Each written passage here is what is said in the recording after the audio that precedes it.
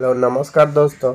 मेरा नाम है नीलेश कुमार और आप देख रहे हैं एक्सपर्ट्स कंपटीशन फ़सल उत्पादक प्रथम देश के बारे में आप जानकारी प्राप्त करेंगे। एग्ज़ाम की दृष्टि से बहुत ही महत्वपूर्ण है। एक से दो क्वेश्चन आपके हर एग्ज़ाम में इससे निश्चित रूप से पूछे जाते हैं।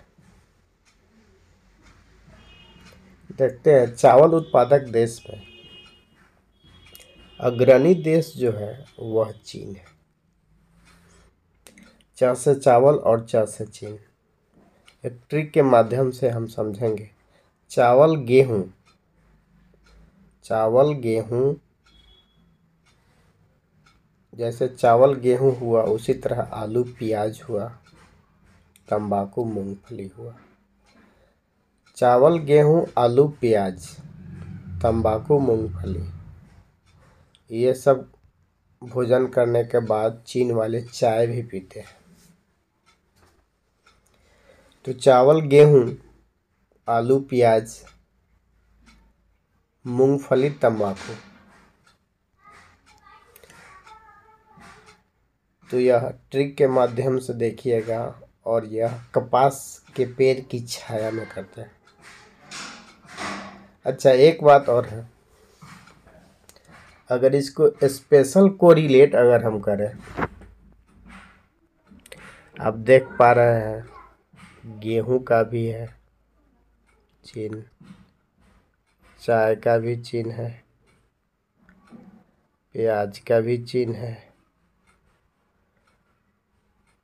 आलू का भी चिन्ह है और कपास का भी चिन्ह है, तंबाकू का भी चिन्ह है, मूंगफली का भी चिन्ह है। अब देख पा रहे होंगे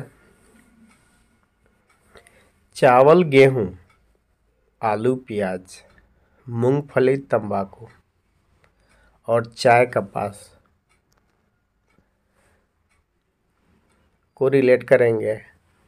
च से चावल, च से चिन्ह च से चाय, च से चीन। अब आलू, प्याज मूंगफली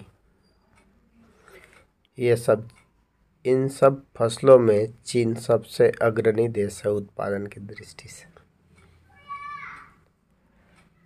और यह निर्यात भी करता है।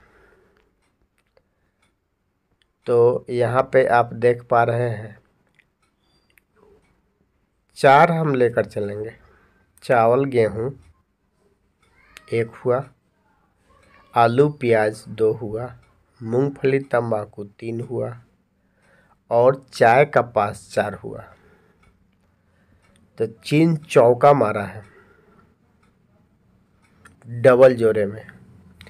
आलू, गेहूँ, सॉरी, चावल, गेहूँ, आलू, प्याज, तंबाकू, मूंगफली, कपास, चाय। इन सभी फ़सलों में अग्रणी उत्पादक देश जो है, वह चीन है। आपको याद हो गया होगा। एक बार फिर से बोलिए, चावल, गेहूँ, आलू, प्याज तंबाकू मूंगफली कपास, चाय। तो इस तरह से आपको यह याद हो गया। अगला देखते हैं। मक्का। मक्का शुरू से ही अमेरिका रहा है। आप अगर दो तीन साल से आप इस क्वेश्चन को रिपीट देख रहे हैं, मक्का मक्का के क्षेत्र में अमेरिका अग्रणी देश रहा है। अगर हम दाल की बात करें यहाँ पे आप देख पा रहे हैं दाल। तो दाल भारत है और भारत में गुजरात प्रथम स्थान पर है दाल। उसके बाद मध्य प्रदेश, महाराष्ट्र, ये सब दाल उत्पादक राज्यों की श्रेणी में आते हैं। तो दाल के उत्पादन में भारत अग्रणी देश है। दाल जूट दूध। दाल जूट दूध।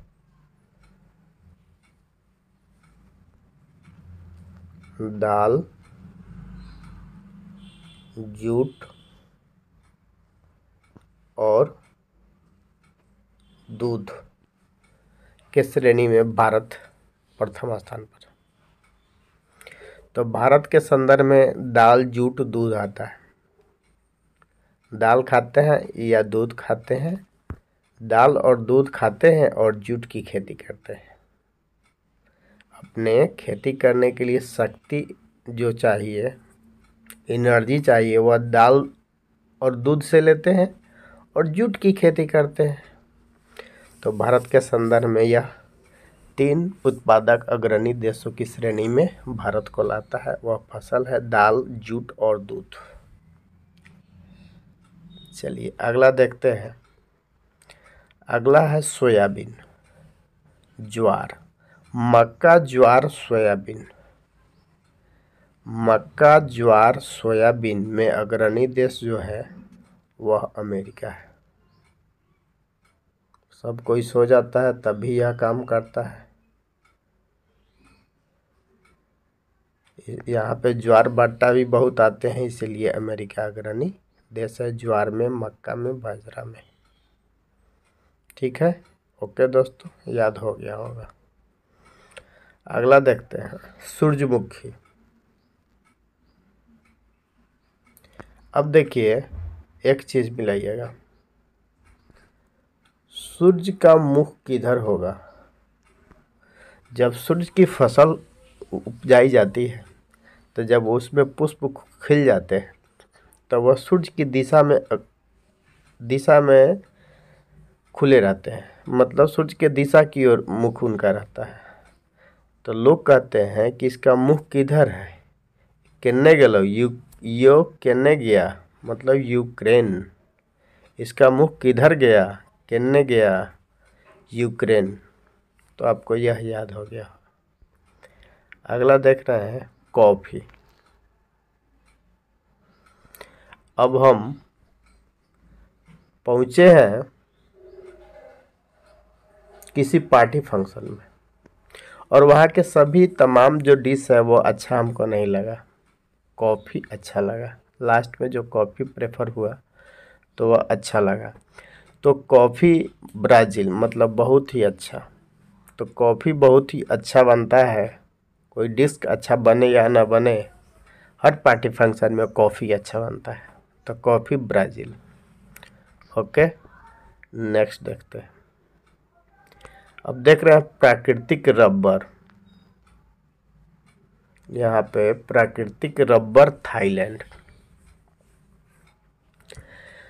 प्राकृतिक रबर जो है, लैंड पर उसको, रबर को बच्चे लोग खेलते हैं, जंप कराते हैं, थाईलैंड। अब थाई पर भी अब लैंड करा सकते हैं। उसको जंप करा सकते हैं। तो रबर हुआ थाईलैंड। और इस तरह से आप और सब भी जान पा गए, पाए हैं। चीन के बारे में भी जान पाए हैं। इस तरह ये संपूर्ण एक फ़सल उत्पादक, एक ट्रिक के माध्यम से आप समझ पाए। थैंक यू दोस्तों।